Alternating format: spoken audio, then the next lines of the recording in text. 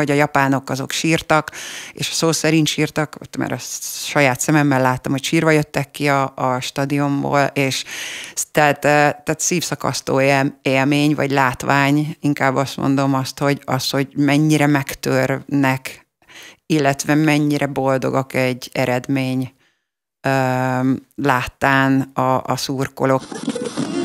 Hárman párban. Kaszás Attila beszélgetései sztár vendégeivel aktuális szakmai és magánéleti helyzetekről. Hárman párban. A Spirit fm -en. Köszöntöm a hallgatókat, ez a Spirit FM 92.9, benne pedig a hárman párbannak egy extra adása, amikor ketten beszélgetünk Rózsa Dórával, méghozzá sportrendezvény szervezővel, és rengeteg élmény, élménnyel jött haza. Nagyon szépen köszönöm, hogy így az ünnepek között elfogadtad a meghívást. Kezdjük a legaktuálisabb dologgal, ugye VB. Ha ott jól tudom, jegy problémákkal küzdöttetek nagyon sokat, tehát hogy pontosan milyen pozícióban vagy milyen szituációban is voltál kint? Um, a FIFA-tól egy olyan munkakört töltöttem be, ami a um, ticketing, stadium ticketing manager asszisztens állás, ami a ami egy olyan munkaköri feladat, hogy az olyan bajba jutott szurkolóknak, akiknek problémája van a jegyükkel, vagy bármilyen szinten segítségük van, segítséget kell nekem nyújtani, vagy nem tudnak bejutni a, a stadionba, akkor a jegyel kapcsolatos problémákat a mi csapatunk oldotta meg, hogyha ez, ez, ez uh-huh. érthető. Egy dohai stadionban voltatok, az volt hozzátok, vagy ott dolgoztatok állandó bázisként? Nyolc stadion volt a világbajnokságon, én az Ahmad bin Ali stadionért feleltem, és ott én abban a stadionban voltam nyolc meccsen, és azután tettek tovább különböző másik stadionokban, amikor nálunk már nem volt meccs. Há, utána pedig rotáltak? Tehát amikor ott véget értek a nyolcad döntők, akkor... Akkor rotáltak minket, és mentünk tovább a többi, tehát tették a csapatot, csak a menedzsereket tették tovább tulajdonképpen más stadionokba, ahol szükség volt segítségre. Tehát ilyen supportról támogató pozícióban voltunk, hogy a többi kollégának a munkáját segítsük, akiknek több meccsük volt. Uh-huh. Uh, előző riportokban már meséltél egy-két esetet, például egy ausztrál házas párról, illetve egy uh, indiai apukáról, azt hiszem, Igen. indiai apukáról. Mi volt a leg, legdurvább mert hiszen ott az is elhangzott egy előző riportban, hogy, hogy volt, amikor az, egyedül azért nem küzdöttél meg velük, mert volt olyan szituáció, amikor hívni kellett a, a szem staffot tulajdonképpen, hogy egy kicsit így testileg is segítsenek. Um, hát um, indulatok azok mindig keletkeztek ezekben a szituációkban, mert mert az emberek be akartak jutni a stadionban, és, és vagy maguk, tehát kívülálló okokból valami oknál fogva egy problémájuk lépett föl, és mindenképpen be akartak jutni, ezáltal azért volt egy kis, hát hangulatbeli különbség valamikor erősebb vételben, és akkor kellett hívni a kollégákat, hogy, hogy ezek a, a sajnos szurkolók nem tudnak bemenni, mert a jegyük nem, nem, nem, nem nem megfelelő, vagy hamis jegyel rendelkeznek, de voltak olyanok, természetesen a cél az volt, hogy segítsük ezeket a szurkolókat, akik nem tudják letölteni az applikációt, vagy az ő jegyük valamilyen úton, módon az éterben elveszett, vagy az e-mailt nem, rossz e-mail címet adtak meg, vagy egyszerűen olyan telefonnal rendelkeztek, ami az applikációt nem volt képes letölteni. Tehát itt azért egy elég nagy IT háttérre áll a rendelkezésünkbe, amivel tudjuk segíteni ezeknek a problémáknak a megoldását. A nyelvtudás alapján irányítottak benneteket? Tehát vagy hogy vegyesen voltatok, mert ugye tudom, hogy egy borzalmasan nagy szakmai stábot hoztak, nemzetközi szakmai stábot Katarba. Tehát, hogy minden nemzetből volt. Igen, tehát, de inkább a szakmaiság volt a, a fő, fő kitételnek. Mi azért szembesültünk azzal, hogy én, én arab, az arab nyelvet nem beszéltem, és nagyon sok az kellett volna, de, de azért beszélek az angolon kívül pár másik nyelvet, és a francia nyelvtudás például nagyon hasznos volt, vagy, vagy esetleg egy holland nyelvtudás, de, de az angol általában tovább vitt minket, főleg mi magyarok nagyon kevesen voltunk a, úgy összetettben a szervezőbizottságban, a legtöbb a brazil, orosz és azerbajdzsáni nemzetiségű kolléga volt, akik a szervezőbizottságban dolgoztak, oda költöztek hónapokra, valaki évekre. te ugye két hónapot voltál kint. Igen. Ennek a castingját hogy kell elképzelni? Tehát 2022. januárjában föladnak egy hirdetést az Expressben, és azt mondják, hogy hello. Vagy ez, Um, hát vagy ez meghívásos? nem, nem, én is beadtam az önéletrajzomat a, a, erre a, a pozícióra. Ez egy operációs, tehát teljes mértékben operációs munka volt, ezért volt idézőjelben csak két hónap akik a, a stadion konfigurációjáért feleltek, vagy, vagy más nagyobb, hosszabb lélegzetvételű, fel, bocsánat, lélegzetvételű feladatokért, ők már akár fél évre, évre, vagy akár két évre kiköltöztek Dohába, hogy, hogy a stadionoknak a, a megfelelő ülésszerkezetét megoldják. Tehát ez, én most, most teljesen a jegy tükör és a jegyel kapcsolatos projektet nézem. Az én munkám az főleg egy hónapos tréning volt, illetve a mi alkalmazottaink, a mi, mi csapatunk tréningelése volt, tehát mi tréningeltünk a, a mi, mi beosztottainkat, és az, a, közel, nek közel hozzám száz önkéntes tartozott, és azon keresztül volt egy fizetett helyi személyzet, akit szintén tréningeltünk, és aztán volt 64 meccsünk 29 nap alatt. Oh, 64 meccs. Összesen 64 meccs volt. Én nem voltam természetesen az összes 64 meccsen, de több mint a felén részt vettem mint, mint munka, munka kapcsolatban. Az nem azt jelenti, hogy bent ültem és néztem a meccset, mert a legtöbb esetben nem tudtam az, az eredményt, hanem, hanem ezeken a meccseken dolgoztunk. Uh-huh. Uh, egy gyors kérdések a stadionokról eszembe jutott, hogy mondtad, hogy láttatok egy olyan skyboxot, amilyen Hát fürdőszoba és francia egy és minden egyéb, tehát hogy sikerült egyszer egy ilyen ö, helyszínen is járnotok. Igen, az egyik stadion, a legnagyobb stadion, amire a, a katariak büszkék voltak, és ahol a megnyitó volt, ott, ott a Skybox rendelkezett fürdőszobával, állószobával, ágyal. Ez tulajdonképpen egy ilyen félig meddig hotel hotelként is üzemel a későbbiekben to- továbbhasznosítás céljából, tehát uh, talán különböző médiaportálokon volt róla film, fotó, ez, ez mindig az. Van, hmm. ilyen, van ilyen stadion, aminek a skybox van, van ágy és fürdőszoba. Mennyire fogadták a, az európai és egyéb szurkolók ezeket a kötött szabályokat, hogy alkohol nincs a stadionban, ha cigarettázni szeretne és elhagyja a stadiont, akkor nem tud visszamenni. Ezek azért számunkra nem szokványos szabályok. A dohányzás is, hogy nem lehet kimenni a stadionból, ez minden stadionra létezik, ez már az UEFA-n is ez volt, tehát a mi, mi stadionunkban például a Puskásban is ez a szabály teljes mértékben van, és megpróbáljuk betartatni. Azt, hogy milyen mértékben tudjuk ezt betartani, az, az egy másik kérdés, de ezek a szabályok az akár UEFA, akár FIFA-nál vannak, hogy, hogy hogy cigarettázni nem lehet kijönni a meccs közben.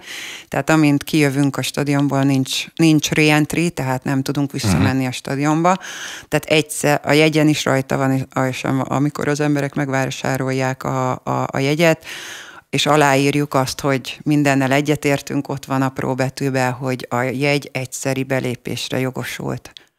Hmm. Tehát se, nem lehet többször kimenni, bemenni. Vannak természetesen speciális esetek, amiről, amiben mint, mint mi jegyel kapcsolatos menedzserek, ticketing menedzserek döntünk, hogy tényleg az az illető kijöhet-e és visszamehet, ennek vannak szabálykeretei, illetve hogy, hogy engedélyeztetjük, és hogy tudjuk őket kiléptetni úgy, hogy vissza tudjanak lépni a forgókapunk keresztül.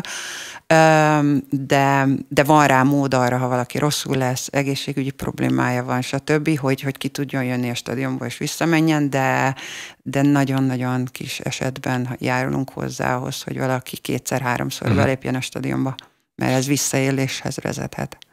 Melyik nemzet szurkolótábora fogadta legrosszabban az alkoholmentességet? Az alkoholra visszatérve, és az, az összes olyan kulturális kötöttségre, amit Katar vagy a közel-kelet ad, én azt gondolom, hogy, hogy ezt előre kommunikálták mhm. mindenféle csatornán, és aki úgy gondolta, hogy elmegy Katarba a világbajnokságra, az, az már tudta. Tehát ezek nem volt új keletűek, hogy hogy kell öltözködni, milyen kulturális szabályok vannak, hogy az alkoholfogyasztása korlátozott, illetve egy kicsit meg is szigorították a, a döntő előtti napokban, mert elvileg a, a, a, a belső zónán lehetett volna alkoholt fogyasztani, de azt hiszem négy-öt nappal a megnyitó előtt ezt is eltörölték. Kijelölt helyeken lehetett alkoholt fogyasztani megfelelő, megfelelő mennyiségben, megfelelő minőségben, tehát minden hozzáférhető volt, hogyha valaki alkoholt akart fogyasztani. A stadionban nem lehetett, csak alkoholmentes sört árultak. Én azt gondolom, hogy ezt elfogadták a, a szurkolók teljes mértékben. Um, nem voltak atrocitások, és nem, én, lát, én nem láttam semmit, hogy, hogy ezzel kapcsolatban probléma lett volna. Lehet, hogy azok az emberek, akik a tévé előtt ültek, és egy sör, sörrel a kezükben nézték a meccset, az, az más volt, de, de, de respektálták ezt a szabályt. Nagyon szépen összejött ugye a négyes mezőnye, mert volt benne ugye európai csapat, volt benne dél-amerikai csapat, tehát hogy szépen, szépen összejött. Semmi, soha semmilyen atrocitás nem volt mondjuk a szurkoló táborokkal, mindenki higgadtan, nyugodtan szurkolt, vagy volt, aki azért nagyon kiborult, hogyha a csapat vesztette. És most nem is kell, csak hogy volt-e rá precedens? Um, Ugye a, a biztonsági előírások és a biztonsági, a security nem hozzám tartozott. Tehát az, uh-huh. a, főleg én a, a, mi a, a jegykezelésért, a uh-huh. jegyel kapcsolatos visszaélésért, a beléptetésért feleltünk. Um, az ember persze körbe a, a, megyek a stadionba, és rálátásom van, hogyha esetleg van kisebb-nagyobb atrocitás, de én inkább azt láttam, hogy a, a Személy szerint én nem, egy, nem értek a focihoz, tehát mint Aha. a sportákhoz, mert más, más sportákból jövök uh, személy szerint, de, de láttam, hogy a, foc, a futballnak, a focinak milyen ereje van, és akár, akár győztek, akár veszítettek a, az adott nemzet, mennyire összefogja a népet, mennyire, mennyire a tévén biztos nagyon lejött ez, a, hogy mutatták a szurkolókat, amikor uh, nagyon boldogok, vagy, nagyon, vagy a japánok azok sírtak, és a szó szerint sírtak, mert azt saját szememmel láttam, hogy sírva jöttek ki a, a stadionból, és tehát, tehát szívszakasztó élmény, vagy látvány, inkább azt mondom azt, hogy, az, hogy mennyire megtörnek, illetve mennyire boldogak egy eredmény láttán a, a szurkolók. Én ezt, én ezt más sportban, más eseményeken annyira nem tapasztaltattam. Nekem ez volt a, az első FIFA világbajnokságom, és hát ez a leges legnagyobb futball esemény, hát ezt uh-huh. tudjuk a világon, négy évente szervezik, és tényleg összehozza az embereket. Tehát én nem tudok számokat mondani, hogy, hogy mennyien ültek le a tévé elé, mennyien nézték a világon, de én azt gondolom, hogy az a karácsony előtti időszakban egy hónapig nagyon sok portálon mindenki azért a focit, focit nézte, vagy, vagy és, és jó focit játszottak. Finának az elnöke mondta egyszer, hogy vannak a sportok, és van a futball, ami vallás. Tehát, hogy, és ez Argentinára egyébként kiemelten igaz, hiszen ha Igen. jól tudom, még tényleg van Maradona egy ház, tehát, hogy van a Maradónának egy vallása is, tehát, hogy náluk ez egy őrület. Tehát láttuk azt, amikor most 4-5 millió ember az utcára ment. Igen, tehát, tehát e, fantasztikus, de én, én megmondom őszintén, nem, nem a, a, a focihoz, hogy ki hogyan focizik, és, és hogy, hogy melyik, melyik, melyik ország, melyik, melyik csapat jobb. Természetesen a horvátokért ér szorítottam, mert, mert egy három és fél millió lakosú országról beszélünk, és tényleg a szomszédunk és oda kerültek, tehát nekem ez azért, hogy, hogy, hogy oda lehet kerülni, remélem esetleg mi is oda kerülünk, de Biztos lehet, hogy én naívan, de, de játszottak egy hatalmas ország ellen, azt hiszem Marokkó volt, uh-huh.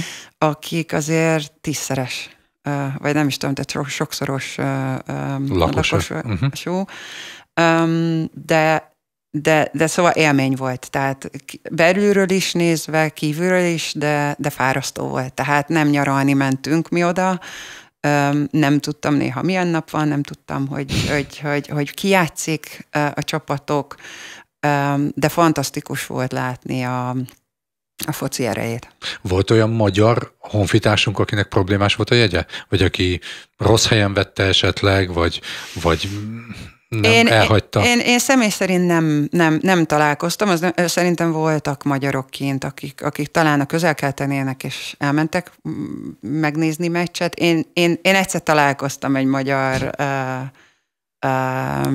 egy, két, két úri emberrel, aki, aki rossz helyen ültek, és felszólítottam őket, hogy üljenek a helyükre, ami nem az én, én feladatom volt, de, de, de, de láthatóan nem olyan helyen ültek, ahova, ahova szólt a jegyük, és, és aztán mondták, hogy nagyon hideg van a stadionban, azért ültek át, és ezt, ezt, ezt én is alá tudom támasztani, hogy a légkondicionálás a stadionban ugye már hónapok óta megy folyamatosan, és hogyha kint 35 fok van, mondjuk decemberben már csak 25-28 fok volt, a, kinti, a benti 20 fok alatti légkondicionálás azért hűvös a, egy, egy két órát, három órát eltölteni, és sorba pólóba, 18-20 fokban légkondicionálásban ülni, az ember azért fázik. Hihetetlen pénzt töltek bele a katariak. Tehát most, hogy így a légkondicionált stadionokra rátértünk egy picit, tehát ezért ez, ez szerintem egyedi a világbajnokságok történetében. Nem tudom, tehát nem volt, nem dolgoztam még másik világbajnokságon, de azokat a feltételeket, amelyeket a, a, a szervezőbizottság, vagy hát eleve Katar biztosított a, a sportolóknak, a menedzsereknek, az edzőknek, a, a szervezőknek, a szurkolóknak, szerintem, szerintem megteremtették azokat a feltételeket, ami nagyon-nagyon magas szintre vitte a, a világbajnokságok történetébe, gondolom én, a, a szervezést. Meg volt az anyagi keret, ugye ezt, ezt beszéltük, és megtettek mindent, évek óta készültek, sok külföldi szakembert behívtak, illetve csak szerintem 95%-ban, illetve mentorálták a helyieket is. Uh-huh. Azért Katar nem egy nagyon nagy ország, hogyha megnézzük, és be kellett hívni azokat a nemzetközi tapasztalt embereket mindenféle területről, közvetítés, venue management, tehát az egész, ez, ez egész infrastruktúrát, akik, akik teremtették, azok a, azok a sportrendezvény szervezésben azért a világon ott vannak, és sok olimpián dolgoznak, meg más sportágokban, eseményeken. Azt mondtad, hogy volt olyan náció, aki tényleg reggel 8 ott volt a meetingen, de volt, aki 8.30-ra érkezett meg, mert lazábban kezelte a... igen, igen. De mindenki más. Mindenki más, de ezt, ezt aztán egy a, mi, a sorsfintora az volt, hogy az Ahmad bin Ali stadion egy 40 ezer fős férőhelyű stadion, ami, amit el is tudom mondani, nem, nem azt jelenti, hogy 40 ezer férőhelyes, csak a konfigurációja minimum 40 ezer férőhely, tehát hogyha például a, a, a tévénézők látták, hogy a 40 ezeres stadionban 46 ezeren ültek, az azért van, mert tulajdonképpen a különböző kameraállásoknak a levételével sok, sok, sok széket kiveszünk, vagy különböző médiaplatformokról levesszük, tehát általában kerekítenek, de alulra kerekítik a számokat. Tehát a, a 80 ezres stadion se 80 ezres, hanem mondjuk 86 ezres, vagy 86.572 férőhelyes. Uh-huh ezt nekünk, a, amikor beállítják a, a különböző modifikációkat a, a, a székeknek, akkor jön a tényleges szám. Tehát ezért sokan kérdezték, hogy, mi, hogy, hogy több a szám, mint a stadionnak a kiírt kapacitás, ez, ez így, így lett kerekítve, hogy, hogy 40 ezres, 60 ezres, 80 ezres stadionok vannak. Um, amit akartam, hogy, hogy amikor én ebbe a stadionba kiválasztottak, hogy ebbe a stadionba leszek, az én venue menedzserem egy német hölgy volt, akivel már együtt dolgoztam a Puskásban. Az. UEFA-n, a, a, a, amikor ugyanezt a, a, a munkát végeztem Budapesten, egy német hölgy volt a, a tulajdonképpen létesítményigazgató, talán a venue manager az, az a, a, az eseményre vonatkozóan, és őt is felvették, és ennek, a, az esem, ennek a stadionnak ő volt a, a, az igazgatója, és furcsa volt, hogy e, dolgoztunk együtt Magyarországon, Budapesten a Puskásba, és aztán, aztán pedig Dohába, és ugyanazt, mind a ketten ugyanazt a, a pozíciót töltöttük be, tehát örültünk egymásnak, hogy tudtuk, hogy ugyanaz a, hogy jól tudunk együtt dolgozni. Ennek ellenére ő volt az egyedüli nő a nyolc stadion közül, ahol, uh, ahol most nem azt mondom, hogy engedték, vagy kiválasztották, de ő volt az egyedüli nő, aki, aki ezt a szintet betöltötte. A többi stadionban mind férfi volt a venue manager.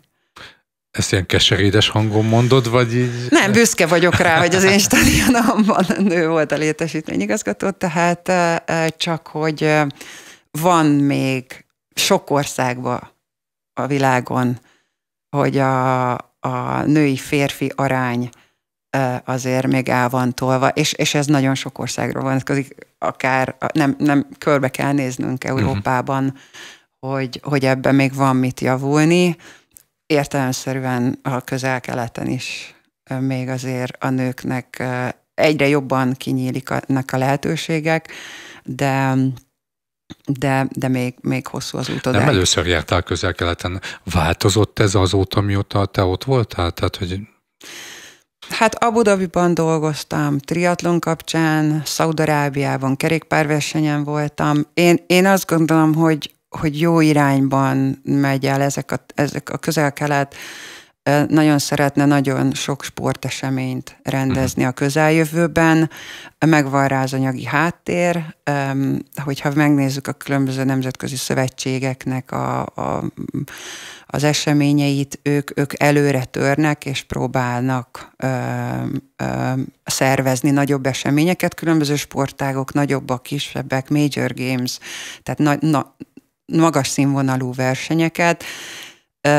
az, hogy most mennyi jut hozzájuk, az, azt majd a jövő megírja, de, de az anyagi feltételeket tudják biztosítani. Tehát egy speciális olimpiai világjátékokat szervezte három éve, Abu Dhabi, fantasztikus, egy európai játékok voltak Azerbajdzsánban, Bakuba, egy azt hiszem 5-6-7 évvel ezelőtt, és ők is fantasztikus eseményt hoztak létre, tehát ez a régió próbál befektetni. befektetni aha. Te a sport életedet úszással kezdted, igen. Amiben aztán utána úgy gondoltad, hogy mégsem olyan, amit te elképzeltél, meg nem voltak olyan, és váltottál triatlonra. Igen, igen. Ezt az életedben nem fogod megbánni, hiszen utána ez már egy olyan lépcsőfok volt, ami, ami sok mindenhez hozzájuttatott, vagy, vagy elindított egy úton. Igen, felmértem, hogy úszóként nem vagyok olyan tehetséges, vagy nem tudok, vannak határaim, meg korlátaim, amit be kellett látni, hogy nem leszek olimpiai bajnok, vagy válogatott. A triatlon az jött az úszás révén, bár nem szerettem futni, mint általában az úszók többsége, megszerettem, kitűztem célokat, szépen nagyobb sikereim voltak, de ott is elértem egy olyan szintre, hogy, hogy rájöttem, hogy, hogy, hogy a futás az a, a lukas számom, annak ellenére, hogy azért akkor már magas szinten csináltam, és amatőr szinten kitűrtem egy nagyobb célt, azt elértem, amire mai napig is büszke vagyok, és onnantól kezdve azt gondoltam, hogy ha már belülről láttam a sportágat, akkor szeretnék kívülről segíteni és szervezni, támogatni, akár bíróként, akár sportszervezőként ezeken az eseményeken. Amikor te beszélünk konkrétan a Hawaii Hawaiian ironman végezted. Ugye azt írták, hogy nő a vasemberek között mindig ilyen, akkor ilyen cikkek jelentek meg. És a, az, az egyik legfontosabb, hogy, hogy harmadik nőként akkor, 2000-ben. Akkor, így akkor. van. És, és ami még fontos info, hogy akkor te szinte önköltség részén csináltad meg, és hát az utazást, a felszerelést nem nagyon voltak szponzorok. Ez most arra megváltozott? Hát azért nekem is voltak segítőim, mert a, az akkori cégem, akinél dolgoztam, ők, ők, ők valamilyen szinten az utazásomat segítették, és volt egy egy étterem is, aki, uh-huh. aki, aki lehet, ezeket nem szabad mondani, de, de, de, de valami, is mondtad, abszolút. Egy, mind a ketten az akkori cégemet el lehet mondani, Persze, tehát az akkori cégemet Szakunikum RT volt, ők támogattak a kiutazásban, illetve volt egy étterem, egy Tájvan étterem a, Budapesten, akinek a tulajdonosa szintén támogatta a kiutazásomat. Nekem az nagyon sok pénz volt akkor, mert a repülő egy havajra azért drága volt, de, de azt gondolom, hogy ha amatőr vagy, akkor mindent magadnak kell megteremteni a sportfelszerelést, az utazást, az edzőtábort, és itt a kerékpár, a kerékpár főleg az, ami nagyon drága, hogy mai nap én azt látom, hogy én, én, én, én ezt 2000-ben teljesítettem. Uh-huh. Azóta nagyon sok sok más. Tehát most pont összeállítottunk egy listát, hogy kik azok a magyarok, akik azóta, vagy valaha kijutottak, akár amatőr profiként. Itt egy 45, 40 emberről beszélünk, fő, főleg férfiak, 10-12 nő vagyunk, nem nagyon gyarapodott a, a létszám.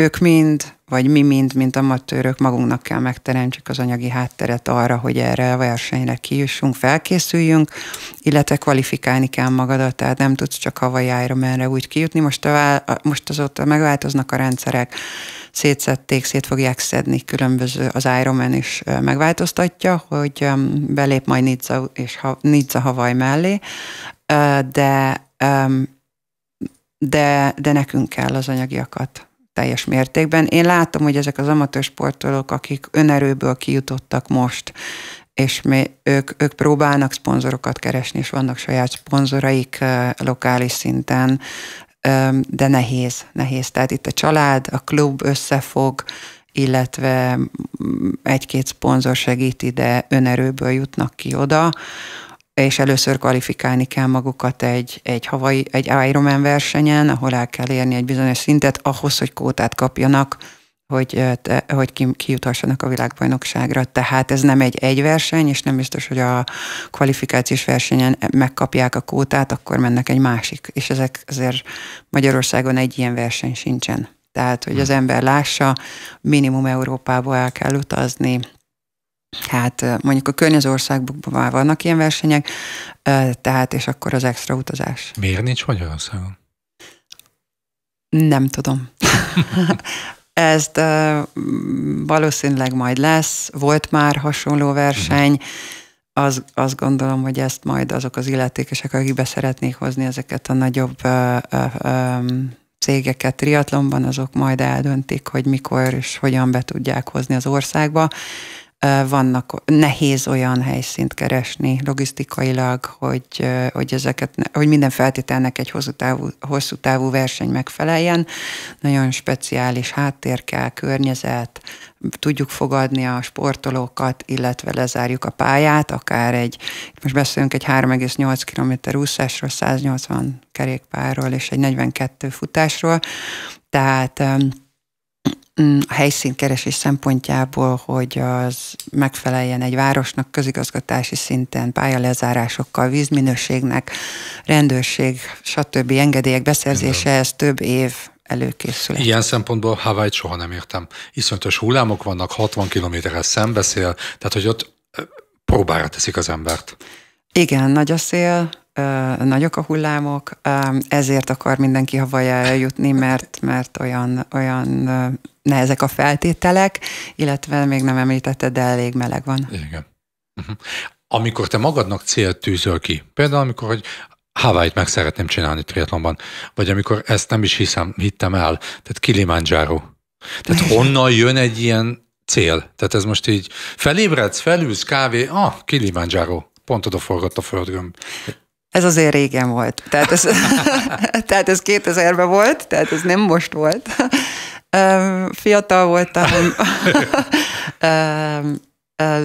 Egyszerűen voltak kihívások, és szerintem ez mindig jó egy embernek kihívás, de nem feltétlenül egy Kilimanjaro vagy egy Hawaii Ironman kell, hogy legyen, lehet az is, hogy biciklizünk körbe a Balatont, tehát uh-huh. vagy fussunk egy szigetkört a Margit szigeten. Tehát én azt gondolom, hogy nem kell rögtön maratont futni, elég, hogyha a saját fizikai határunkon megnézzük, hogy mi az, amit, amit meg tudunk csinálni, és akkor fussunk egy fél szigetkört, vagy öt kilométert. Kilimanjaro-ra mennyit kell készülni például? Te um, akkor mennyit készültél rá? Nem, én, én a Kilimanjaro megmászását azt a Hawaii Ironman-re előtt csináltuk ö, felkészülésre. Tehát az egy, az egy felké, azt egy ilyen edzőtábornak gondoltam, hogy egy magaslati edzőtábor séta, az, az, az, az, az, jó, az jó lesz a Hawaii Ironmanre. Tehát, tehát nekem ez, ez abban az évben volt egész pontosan, vagy egy évvel előtte, mert én azért két évet készültem erre a Hawaii Ironmanre. Tehát munka előtt hatkor edzés, elmentem dolgozni, akkor elmentem edzeni, és akkor este még akkor még olyan munkám volt, hogy este is el kellett menni látogatni a partnereket, akkor megint, tehát én ezért akkor alárendeltem mindent ennek elég fanatikusan, azt mondom. Tehát, hogyha valaki ilyen célt kitűz, ahogy én látom ezeket a sportokat, akkor mindent alárendelnek ennek, és csak így lehet szerintem. De alárendeli az ember magát a sportnak, a céljának, Hát nálad ez fokozottan igaz, ugye, várjam, foci EB, Giro d'Italia, úszó EB, Tokio, VB. VB, Tokiói olimpia, ahol dolgoztál, most csak egy hirtelen mm. összeszedem, hány napot töltesz otthon? Tehát az otthon most jelen pillanatban a hallgatóknak, nézőknek mondom, az Hollandia. Tehát jelen Amsterdam, Amsterdam. Igen. Tehát, hogy egy évben tudod, hogy hány napot vagy otthon? Tudom, de hogyha nem támogatna a családom, akkor valószínűleg ezt nem tudnám megcsinálni. Tehát, tehát ez, ez nélkülük nem megy. Tehát a gyerekek, három gyermekünk van, uh-huh. 18, 17 és 15 évesek, ők már azért egy kicsit önállóbbak, tehát egy kicsit könnyebb, de a mostani dohai két hónapi ott tartózkodásom az hosszú volt, tehát az nekem is azt mondtam, hogy ennél több hosszabb projektet nem, nem tudok vállalni, vagy szeretnék olyat, ahol tudok uta, tehát oda-vissza menni, vagy, vagy online dolgozni, de ezek az operációs um, munkák azok megkövetelik, hogy ott legyen az ember, és lássa a helyszínt, a, a, a, az eseménynek a, a, a külterét, külterét, belterét, mert több szem többet lát, és a tapasztalat alapján az ember rá tudja venni, hogy hogy, tud egy, hogy tudja a versenyt, vagy az esemény biztonságosabbá, vagy jobbá tenni, attól függ, milyen pozíciót töltök be, vagy a versenyzőknek, vagy a szurkolóknak. Uh-huh.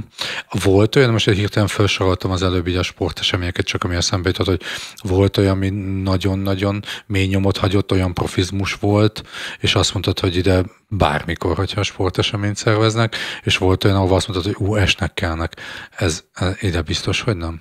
Mármint, hogy a verseny? A verseny, igen, tehát sportesemény, ahol láttad, hogy olyan szervezettség van, olyan profizmus. Szerintem mindenhol van egy jó szervezői csapat, tehát ez, ez, ez nincs olyan, hogy, hogy rossz szervező. Szerintem, szerintem a szervezők azok, azok folyamatosan tanulnak az ön hibájukból, meg, meg évről évre visszatérnek ugyanazokkal a versenyekkel, és, és a saját hibájukat javítják. Azt látom a kültéri sportrendezvényeken, hogy az időjárás nagyon, nagyon befolyásolja mhm. az eseményeket, és ez, ez, ebben nagyon sokat tudunk javulni, tehát hogy a, az eső, a, a, a, hide, a lehűlés, és ezt mi is saját bőrünkön tapasztaljuk, hogy a hirtelen időjárás változás, azt, az mennyire be tudja, befolyásolni tudja akár a sportolóknak a teljesítményét, a sportolóknak a versenyét, illetve az egész esemény köré szervezett programokat, és ezt, egy, és ezt nem mindenki látja, mert én megveszem a jegyet és elmegyek egy eseményre, de, de ha jön egy vihar, vagy jön egy, egy, egy nagyon meleg ö, időjárási hullám, az nagyon, az, az nagyon sokrétűen befolyásolja a mi szervezői feladatainkat, plusz-minusz irányban, és nem mindenki látja, csak azt, hogy most nagyon-nagyon több, több vizet kéne innom. De, de nem ültethetünk mondjuk egy Margit-szigeti vízilabda mérkőzésen a, a tűző napon Igen szurkolókat három órán keresztül, mert egyszerűen az, az, az mindenféle um, mindenféle több problémát teszünk maga után, hogy szükségünk lesz a, a, a mentők, meg az orvosi segítségre. Tehát ezeket, ezeket körültekintően kell nézni. Én azt gondolom, hogy ez a faktor az, amit nagyon sok versenyszervező vagy kihagy, vagy nem, nem veszi elég komolyan, hogy mik azok a tervek, amiket be kell építeni a szervezésbe. Magyarként melyik esemény volt ahhoz, ahol a leghevesebben vert a szíved magyar szurkolóként? Hát nem tudom. Amikor versenyszervezőként dolgozok, vagy bíróként, akkor, akkor kikapcsolok, nem látom, hogy nem látom Aha. az eredményt. Tehát én emlékszem, hogy a család fölhívott, aki nyerte a Tokióban az olimpiát, és nem tudtam választ adni rá, mert, mert nem láttam. Tehát nem rajtszámok, számokkal, időkkel, illetve teljesen más, más csatornában vagyok akkor, és, és nem látom azt, amit az emberek az emberek látnak, hogy ki, ki állt a dobogon, tehát, tehát, tehát nem, nem is láttam, hogy ki volt a dobogon, csak is később megnézem az eredményt. Tehát én Um, nagy élmény volt a, például az, az életem első uh, foci meccse, vagy nagyobb foci meccse a, most a Puskásban, amikor Magyarország játszott például. Tehát már nem is emlékszem az eredményre, hogy győztek vagy veszítettek, szerintem veszítettünk, de, de, de láttam, hogy, hogy az egész stadion egy volt, és, és, és, és, és nagyon nagy élmény volt, hogy a magyarok játszottak, vagy gólt rúgtak. Azt hiszem, rúgtak gólt. Tehát ezek, ez ugye akkor megdobban a szív, hogy, hogy magyar vagyok, és, és szeretek olyan eseményeken dolgozni Magyarországon, ahol a nemzetközi tapasztalataimat be tudom tenni, tehát hogy segíteni tudom a, a hazai szervező bizottságot, ez legyen bármilyen sport, tehát ahova hívnak, vagy, vagy, vagy beadom az önéletrajzomat, szívesen megyek, mert, mert mégis büszke vagyok, hogy Magyarországon sok esemény van. Hogy jöttek a speciális sportok, tehát azok a féle mozgássértő, bármelyikben azt tudom, hogy 2023-ban világjátékok néven azt hiszem triatlon szakmai igazgatóként Berlin. Berlinben Igen. fogsz tevékenykedni. El, elmentél ebbe, egy picit ebbe az irányba, ez hogy jött? Hát a, a parasport és a, a Speciális Olimpiai Bizottság, a, a hallgatók kedvéért, nézők kedvékére elmondom, az a szellemileg sérültek a világjátéka, ahol olyan sportolók vannak, amely, akik, akik akár autisták, vagy Down-szindrómások, hasonló, illetve összetett vagy halmozott betegségekkel küzdenek, illetve a parasportban meg, főleg ami már a, a Nemzetközi Paralimpiai Bizottság előtt van, is a triatlon szám. Én Tokióban ott voltam versenybíró a triatlon számába. Ez egy, ezek nagyon specifikus sportágok, és nagyon specifikus feltételeket kell biztosítani, mint a sportolóknak, a szervezés technikailag,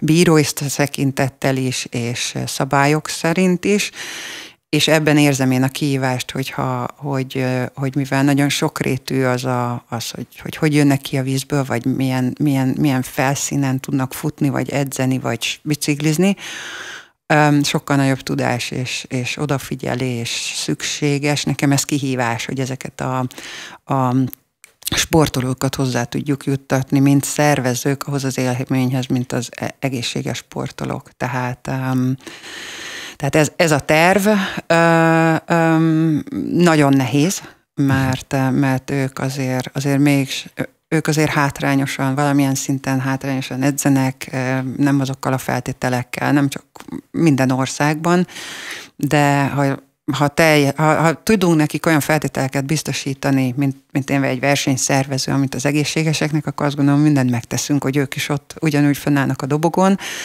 csak sokkal több apróbb tényezőre kell odafigyelni, hogy biztonságban ki tudjanak jönni a vízből, vagy futni tudjanak, vagy célba érkeznenek, vagy ne legyen túl hangos a hangosítás, megfelelő orvosok legyenek a közelbe, ha valami a verseny közben történik. Tehát nagyon-nagyon sokrétű a, a, a szervezés, és akkor ez a csapatot azt összeállítjuk különböző hátterekkel, különböző sportágokba, és akkor a, a legszebb élmény, amikor győznek, átmennek a célvonalon, és teljesítik a távokat. Mi magyarok hogy állunk paratriatlonban? Um, a Tokióban uh, Petra volt uh-huh. egyedüliként, uh, és szép teljesítményt ért el.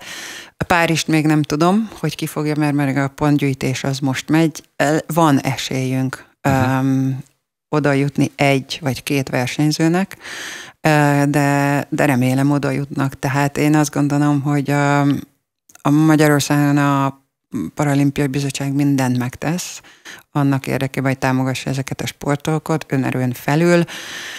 Én annak örülnék természetesen legjobban, ha triatlonba is kótához jutnánk, mert ott a triatlon a szívem csücske, meglátjuk, tehát, tehát bízom benne, hogy lesz magyar sportoló Párizsban.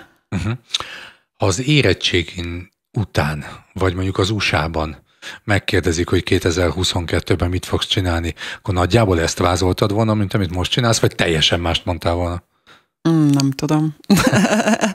Azt csinálom, amit szeretek, tehát eh, sportoltam, eh, és most meg eh, sportrendezvényeket szervezek, nem csak elit, hanem amatőr szinten is, és nem csak egészségeseknek, hanem, hanem, hanem parasportolóknak is. Én szerintem ez, ez egy nagyon, én szeretem ezt csinálni, de, de nagyon fárasztó, tehát, tehát néha azt gondolom, hogy ha, ha valaki versenyez, akkor lefutja a távot és vége. Mi előkészülünk, megnézzük az összes versenyszámot, és addig ott vagyunk, míg a bontás van, míg a teljes, teljes bontás megtörténik a verseny helyszínen. Tehát a versenyzők már hazamentek, ettek, aludtak, mi még mindig ott vagyunk, vagy készülünk a következő versenynapra.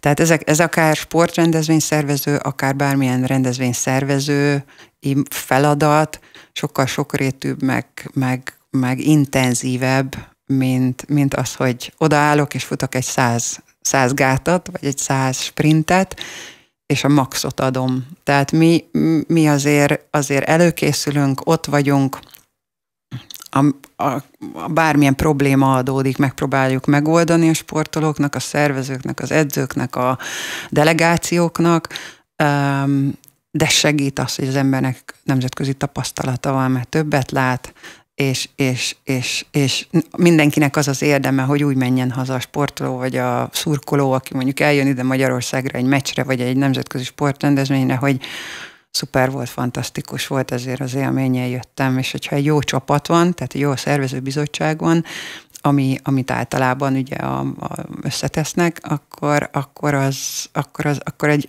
akkor hozzáad. Tehát akkor én is a LinkedIn-emen boldogan, poszt, boldogan posztolom, hogy megcsináltam ezt, és, de, nem, de, de ez egy csapatmunka, csapat nélkül nem megy. Tehát ez, ez nem egy one man show. Uh-huh. Mi a főbb szereped? A delegálás, a feladatok kiosztása, vagy, a, vagy, vagy mert azt ugye beszélgettük műsoron kívül, hogy sportból jöve te kitanultad lényegében a szervezésnek csinyát, binyát. Érzed valamilyen hiányosságát ennek, hogy akkor most nem tudom, valamiben még fejlődnöd kell, vagy, vagy nagyjából láttál mindent, és, és, és, és már, már most már bárhol hely tudsz állni? Szerintem folyamatos fejlődés szükséges, tehát nincs az, hogy mindent láttam. Mindig tanul az ember, és mindig jön olyan szituáció, amire nem tudtunk felkészülni, vagy jobban felkészülhettem volna. Tehát egy jó rendezvényszervező, vagy sportrendezvényszervező folyamatosan tanul, folyamatosan nézi a, a más eseményeket, folyamatosan fejleszti a saját rendszerét, akár, akár mm, informatechnika, informatechnikai szempontból, akár, akár az új technológiák által. A cél az, hogy minél, minél jobban megkönnyítsük a, a sportolóknak a helyzetét, és mindenképpen egyenlő feltételeket biztosítsunk. Tehát ez az egyenlő feltételek biztosítása, tehát hogy kizárjuk mondjuk a csalás lehetőségét, ez minden téren így van, tehát, hogyha futunk egy maraton, mindenki azt a 42,195 métert fussa, és ne, ne fusson valaki 41.5-öt. Tehát most csak mondok egy, hogy levágjon egy kanyart az egyik végen. Tehát akkor kordonozzuk ki mondjuk azt a futóversenynek azt a sarkát is. Tehát, tehát én apró dolgokról beszélek, mert ha az le van mérve a táv, akkor mindenki ugyanazt a távot fussa. Amatőr is, profi is. Tehát um, én azt gondolom, hogy mindig lehet tanulni. Tehát uh, én is folyamatosan tanulok, de nagyon sokat segít, hogyha vannak szituációk, amiket már, már, már kezeltük, csináltuk, uh-huh. és tudjuk, hogy hogy, hogy, hogy, hogy, hogy van, van, fel kell készülni olyan dolgokra, amire, amire az emberek nem készülnének föl, hogy jön egy delegáció, jön a csapat, a vízilabda csapat, a foci csapat, lerobban a busz, mit csinálunk velük, élő közvetítés megy, nem ér oda az egyik, valaki rosszul lesz a nézőtéren, mit csinál az ember, haláleset esetleg sportrendezvényen, hogy kezeljük, média. Tehát van egy csomó olyan uh, unexpected, tehát ami nem, nem, nem, nem várt esemény. Nem várt esemény, uh-huh. amire legyenek szenárióink, legyenek, legyenek uh, uh, megoldásaink, hogy, hogy mindenkinek jó legyen, eljuttassuk az A-ból B-be a versenyzőt, de ha el kell kezdeni 15 óra 0-0-kor a messzinek a kezdőlövést, nem lehet az, hogy mondjuk a fél csapat a stadionba késik, mert, mert pontosan kezdődik az élő közvetítés, és nem csúszhat semmi. És vannak olyanok, amikor, amikor föllépnek olyan speciális helyzetek, ami szinten ott kell rögtön megoldanunk a háttérbe úgy, hogy, hogy, hogy a legrosszabb eset az, hogy toljuk az eseményt, vagy, vagy töröljük. Aha. Utolsó kérdésként, ha tíz év múlva ülünk itt, milyen rendezvény az, amire boldog, amiről boldogan mesélni, hogy és akkor az elmúlt tíz évben ezen, ezt tudtam dolgozni, és ez nagyon nagy élmény volt. Mind szeretnél még? Milyen rendezvényen? Amire hívnak. Tehát, én... Nincs ilyen vágy, vagy, vagy cél, hogy, hogy nem tudom én egy, nem tudom, Párizs Dakar, most csak direkt mondok ilyen extra... Az nagyon fárasztó. Ja, Tehát, okay, mert, mert okay. a Párizs Dakar már szóba került, az nagyon fárasztó. Tehát nem tudom, szerintem teljesen mindegy nekem. Én, én azt akartam mondani, hogy egy, én ugyanúgy szeretek egy, és egy, egy kisebb versenyt, mint egy nagyobb versenyt. Tehát nekem lehet, hogy a, a, nem mindenki tudja, de én ugyanúgy szeretek egy faddombori triatlon versenyt Magyarországon, ahol az utánpótlás indul, és Mint sokkal szerénye, szerényebbek a körülmények között, mint egy Ahmad Bin Ali stadion Katar Dohában a FIFA világkupa keretein belül. Mindegyiknek van kihívása, én, én mind a kettőre szívesen elmegyek, és és hogyha mindenki élménydúsan vagy boldogan Boldog. megy haza, akkor már azt mondom, hogy, hogy, hogy jó. Tehát, tehát nekem, én nem válogatok, de szeretem mindegyiket. Mi biztos, hogy boldogan megyünk haza ezután a beszélgetés után, mert alapvetően csomó mindent megtudtunk Rózsadóráról, és nem utolsó sorban a sportokról és a foci VB-ről is. Én nagyon boldog új évet kívánok a hallgatóinknak, és nagyon szépen köszönöm Dorának, hogy eljött hozzánk. Én is köszönöm, és mindenkinek kívánok. Jövő héten találkozunk, köszönjük, hogy itt voltak velünk, ez volt a Hárman Párban extra kiadása.